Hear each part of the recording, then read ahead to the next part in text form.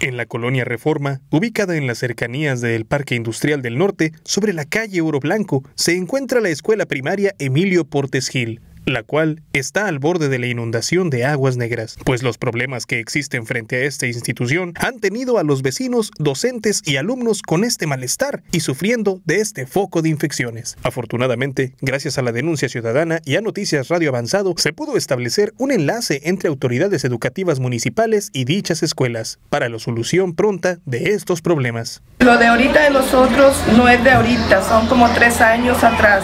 y nadie le ha dado seguimiento. El agua está en, mi casa que, que, está enfrente de la escuela,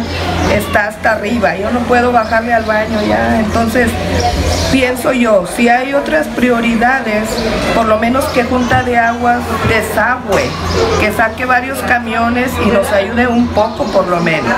Ya tenemos tiempo con ese problema, ya nos hemos quejado, pero nadie ha venido a darnos soluciones. Tenemos promesas, muchas promesas, pero nada más en eso quedan en promesas y este, no han venido a darnos soluciones. Hasta el presidente vino aquí a leerles a mis niños y él pasó por las calles estas destrozadas y prometió